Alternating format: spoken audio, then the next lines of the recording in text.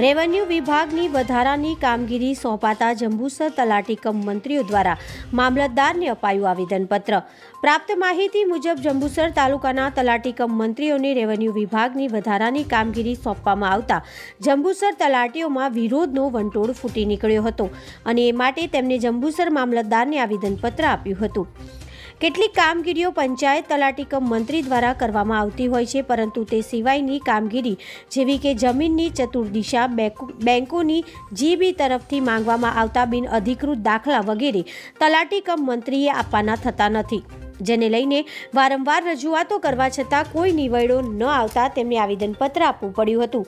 જો પડતર માંગણીઓ સ્વીકારવામાં નહીં આવે, તો સોંપવામાં આવેલી કામગીરી સિવાયની કામગીરી પંચાયત તલાટીઓ દ્વારા કરવામાં નહીં અને મહેસૂલની તમામ કામગીરી રેવન્યુ તલાટી પાસે કરવાની માંગ કરી હતી. અને આ કારણે ઉપસ્થિત થતા પ્રશ્ન માટે પંચાયત તલાટી જવાબદાર રહેશે નહીં તેમ પણ જણાવ્યું હતું.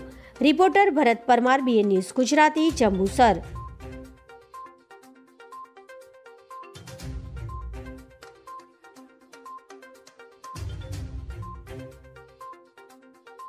ગ્રામ નિર્માણ વિભાગ દ્વારા તો પંચાયત તલાટીઓને નમૂના નંબર આઠ બથી લઈ કામગીરી સોંપેલી હોય. જ્યારે નમૂના નંબર એકથી આઠ અ સુધીની કામગીરી રેવન્યુ તલાટીઓને સોંપવા છતાં બે હજાર દસમાં તેઓને સેજા ફાળવણી કરવામાં આવેલી છતાં પણ સેજા ફાળવણીમાં કામ કર્યું નથી.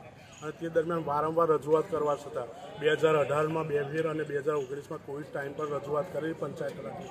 છતાં પણ તલાટીઓએ ગામ પર આવીને રેવન્યુ તલાટીઓએ કામગીરી નહીં કરેલી અને પંચાયત તલાટીઓ કને જ આ કામગીરી રહેલી. અને હાલની તારીખે એ કામગીરી ફરીથી રેવન્યુ તલાટીઓને સોંપવામાં આવે એ માટે આપનું આવેદનપત્ર આપેલું છે.